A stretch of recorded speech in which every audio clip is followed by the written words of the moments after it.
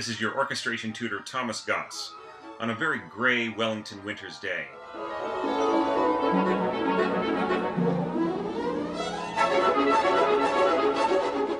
A week ago, I gave a speech at the 2013 Composers Association of New Zealand Young Composers Workshop in Nelson. It was a very trying time for me as my hard drive crashed the night before I flew down to the South Island. This meant that I couldn't use the projector and had to draw everything on a whiteboard.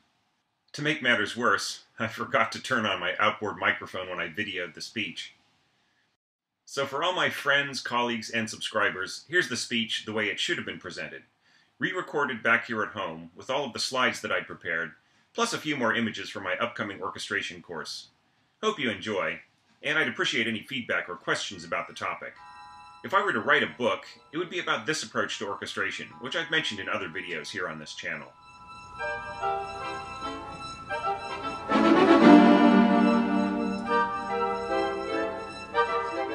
When I started my talk, I made a few impromptu comments about orchestration training, and how I felt the common approach was deeply flawed. Most orchestration manuals are essentially textbooks about instrumentation, with some supplemental advice on the actual task of organizing a score and creating an arrangement. This treats the baseline of orchestration as instrumentation. But the scoring of music could use any collection of instruments, orchestral or not.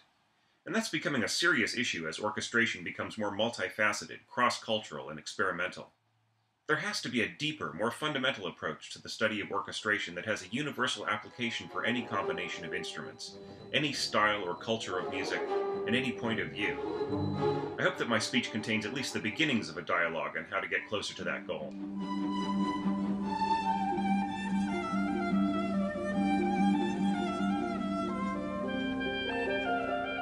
Before I get started with some very technical topics, let's do a simple thought experiment. Examine the essence of this moment right now. First, the sensory data. You're sitting in a room with your colleagues, whom you can see arrayed and disarrayed around you, and from what you know, you can assume that they're sharing the same input the slight chill in the air, along with the cloying, churning warmth from that heater over there, the pressure of the more or less comfortable chair against your back, the sounds from outside the room of practicing, talking, and distant traffic, and the sound from within the room of my slightly strange, trebly baritone, American accented speech.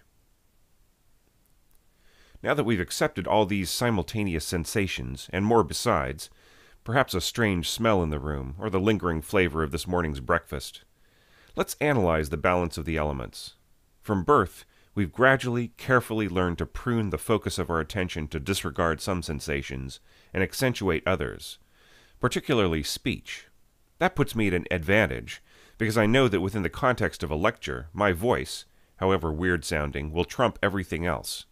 So merely by coming here and sitting down at this particular time, you've accepted that the sound of speech will be the dominant sensation, and all other sensations must be adjusted to support that input, like shifting around in your chair, so that the discomfort of your bodily position doesn't become too distracting, for instance, or tuning out odd noises from outside or inside the room.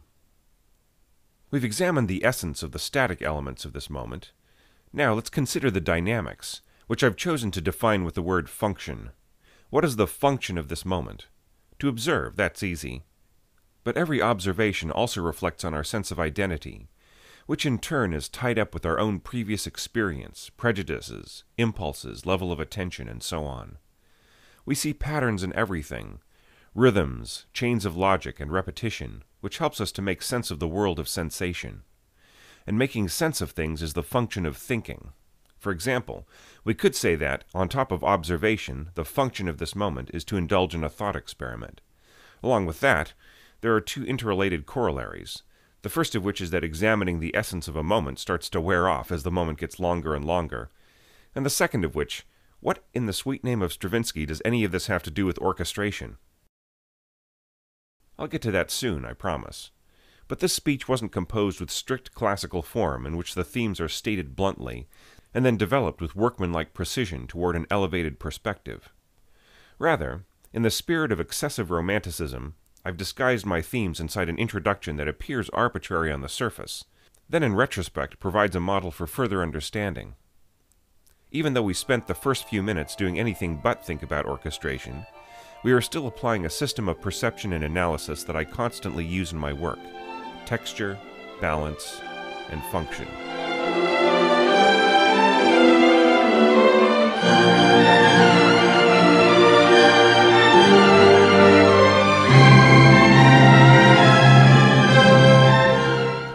Course of 15 years as a working orchestrator, during which I've scored over 20 hours of compositions and arrangements, mostly for professional orchestras, I've learned one survival trick look for the underlying simplicity. No matter how subtle and complex some orchestral works may be, they all share the three basic characteristics I mentioned above. They all present an aggregate of simultaneous information to the listener, which I've defined as texture. This texture, in turn, has a shape to it, in which elements work together, or against one another, or at the expense of one another, or in support of one another. The simplest term for this is balance. Finally, the motion of each individual line in relation to other lines reveals the function of the music harmonic, melodic, contrapuntal, and so on. I'm going to head off some objections right now by stating that the irreducibility of these three basic elements does not, in turn, make them independent of one another. Far from it the act of defining a series of sounds as a musical composition necessarily requires that these building blocks be interdependent, sometimes in ways that the composer simply concocts without thinking about it. That's what we'd call inspiration, the ability to just feel what's right to do, wherein a logical and compelling idea springs forth without much calculation. But even in a cynically composed piece, or a slavishly academic one, the comprehensibility of the music's texture depends on intelligently balanced sonorities.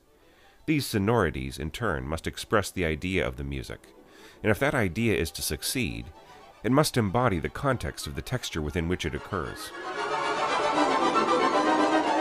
Let's examine these elements individually. I hope to show you that while each category is simple, it still encompasses a great deal of depth, grandeur, and intricacy.